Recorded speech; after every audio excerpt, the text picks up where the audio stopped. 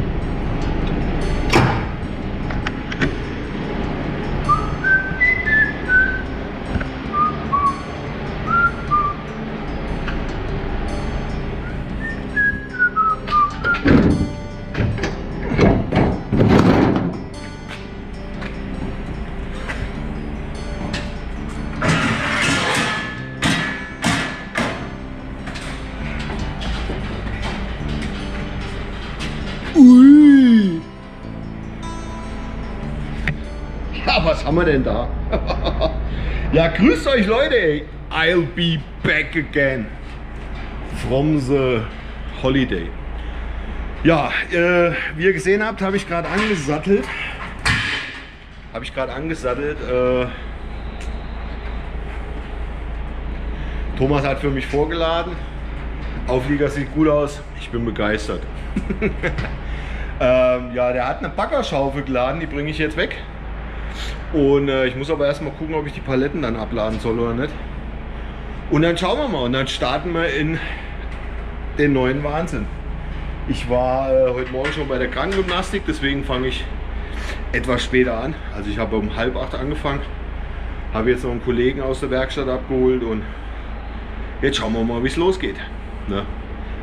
Ich freue mich, endlich wieder was arbeiten, bisschen den Bauch abtrainieren. schauen wir mal. Also ich melde mich bei euch. Bis später.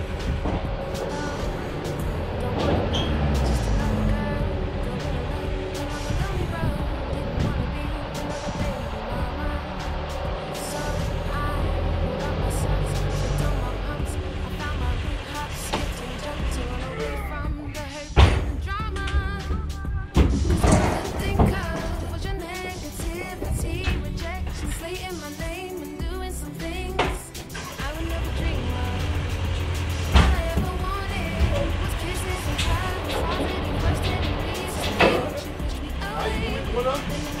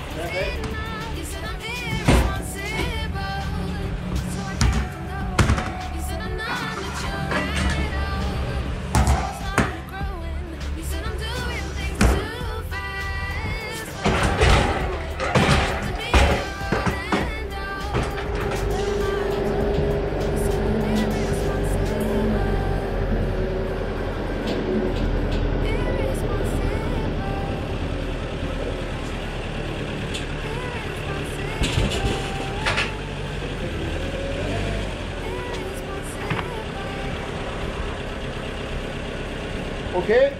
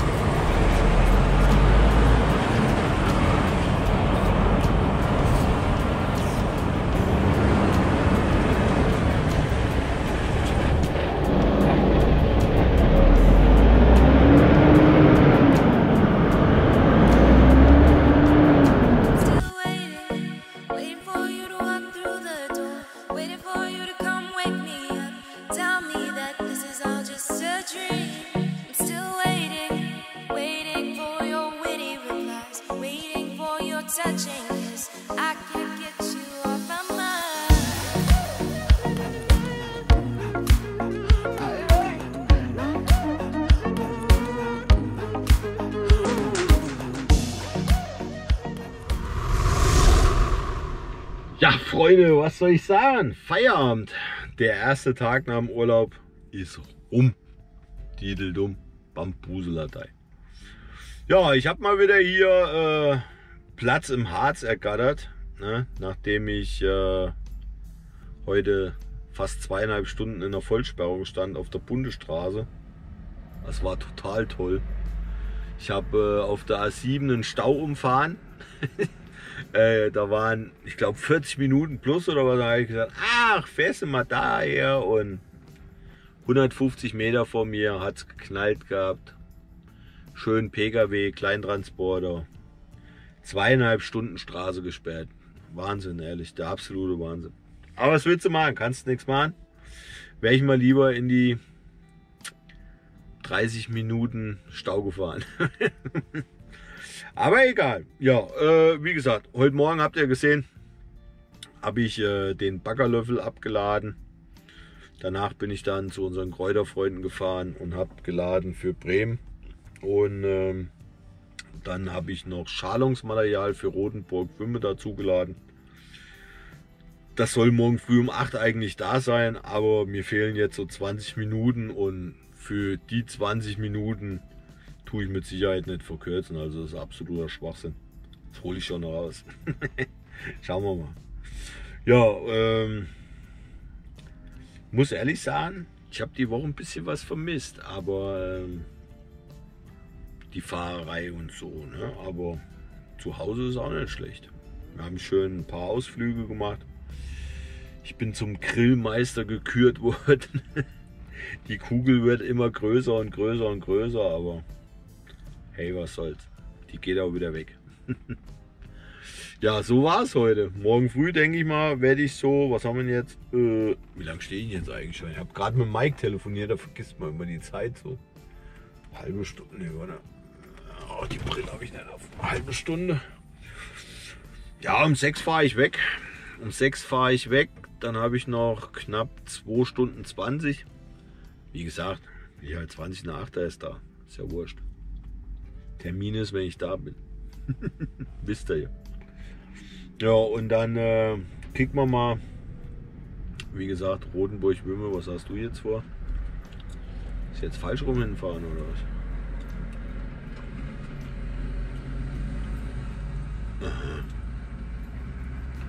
Was mache dieser Mann für eine Fahrerei? Das ist keine Kunst, das ist irgendwie zu komisch oder so.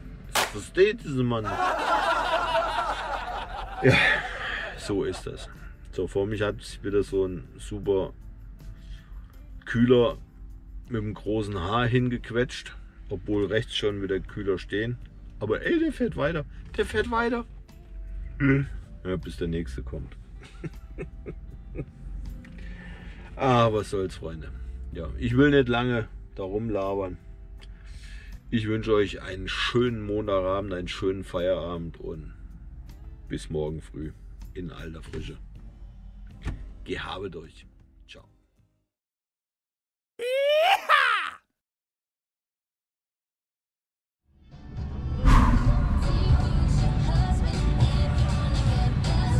Willst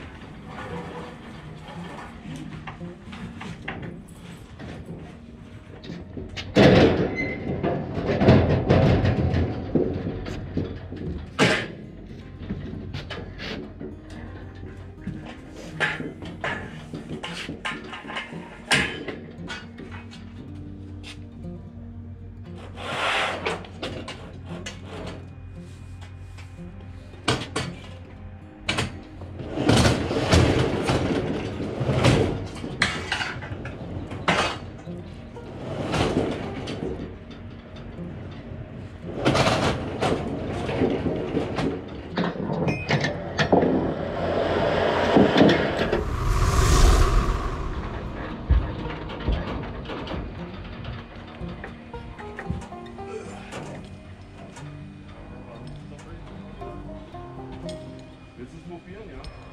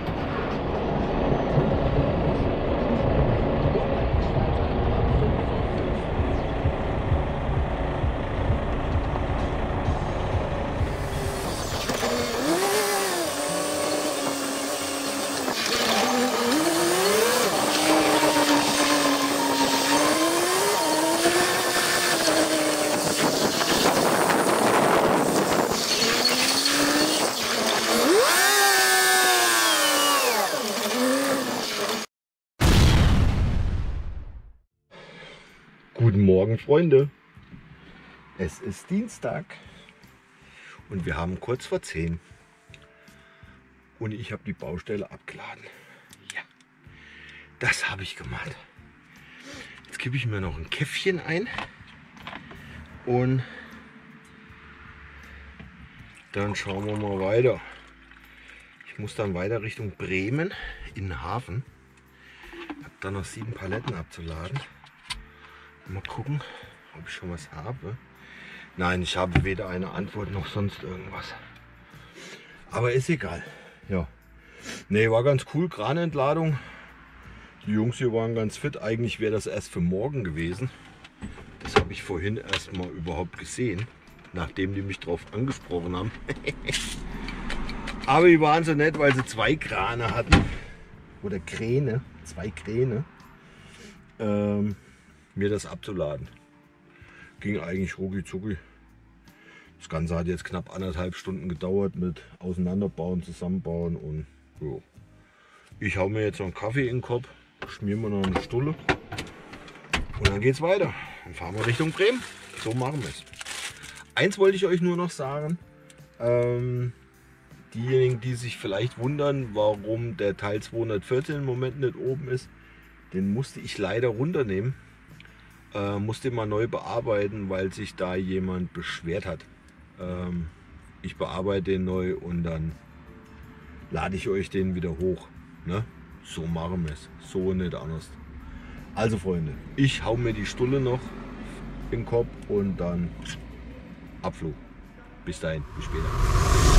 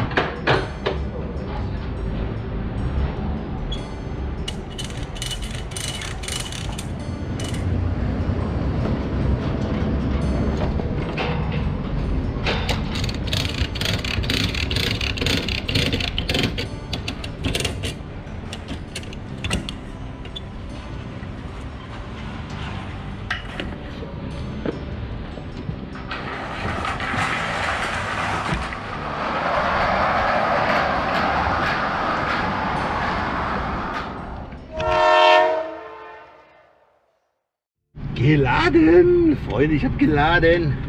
Das ist alles, was ich habe. Hier einen Zettel. Einen einzigen Scheiß Schädel. Schä- Schädel. Äh, ach da. So, jetzt will ich erstmal noch die Strecke eingeben. Und dann geht es los. Von Bremen. Und ich muss mal Lulu. Wie verrückt. So. Da müssen wir hin. Äh, nach Strullendorf. Müssen wir. Will ich aber mal wieder ein bisschen anders fahren. Ich will mal durch den Harz fahren, das sind 12 Kilometer mehr. Aber guck mal da. Das zeigt mir das sogar an. Sieben Minuten mehr sind's. Das fahren wir.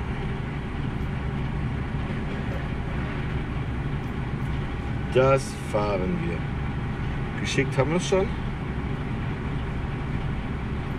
Sie haben ein neues Ziel empfangen. Ja, neues Ziel empfangen. Die Ilse, Junge, weiß Bescheid. So, wie heißt denn dieser Parkplatz? Uhr 26. So, jetzt habe ich nochmal ein Ziel gesetzt. Dann sehe ich, wie weit ich zu dem Parkplatz brauche. Neues Sie Ziel. haben ein neues Ziel empfangen. Und dann können wir nämlich loslegen, wenn er versteht, was ich meine. So, ich brauche mal ein Handtuch hier. Ich schwitze da wie eine Sau. Jo. Alter Vater. Ah. Ja, das waren jetzt ein paar doofe äh, Paletten, ehrlich gesagt. Aber äh, ja, ich habe dann einen Teil noch mit Gurten zusammengezogen. Und äh, das sollte eigentlich erreichen heißen. Ihr Ziel um 22.58 Uhr. Ach so, ja. Moment. Äh, Wird ein enges Ding. 15 Uhr. 25. So. Frachtbrief schreibe ich nachher, damit ich wegkomme. Eigentlich kann ich nur noch bis um 7 fahren. Ich muss mal kicken. Vielleicht investiere ich mal was und fange dann morgen später an. Egal. So, Freunde, ich mache mich auf den Weg Richtung Strullendorf, quer über Harz und äh, Rennsteig. Und ich melde mich nachher nochmal bei euch. Bis dann.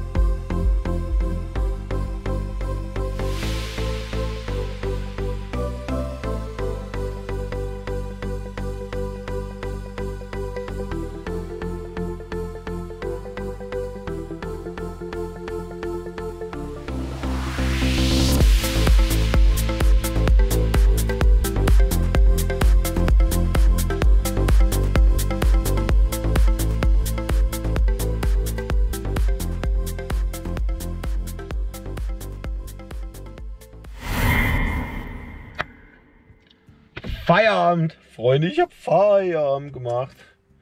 Jetzt hier nochmal die Erleuchtung anmachen.